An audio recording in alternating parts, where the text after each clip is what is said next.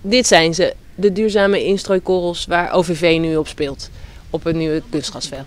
Derde klassieker OVV uit Oostvoorne speelt dit seizoen dus op een nieuw veld.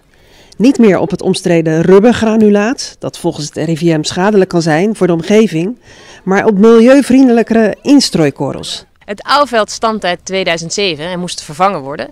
En uh, op dat moment speelde ook de discussie over uh, de milieuaspecten van die oude kunstgrasvelden. En we werden benaderd door Plant One. Die zocht een oud kunstgrasveld waar die de kools kon hergebruiken. En wij wilden graag uh, meewerken aan een duurzame toepassing van die materialen. Zodat onze kinderen op milieuvriendelijk materiaal konden voetballen. De oude kunstgrasmat wordt gerecycled bij kennis- en innovatiecentrum Plant One in de Botlek.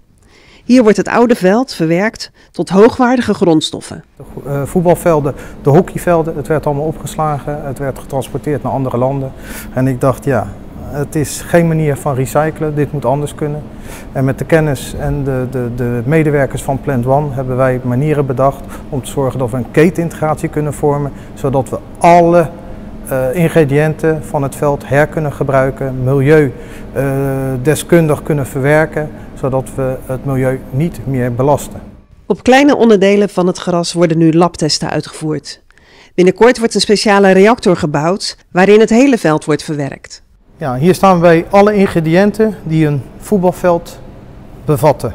Dus we hebben, als wij het hier binnenkrijgen, zand, de, het granulaat autobanden, dat is al gerecyclede autoband, PP, PE, kunststoffen.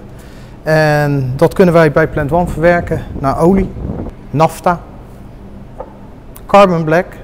Carbon black een hele goede geleider voor elektriciteit en opslag van elektriciteit.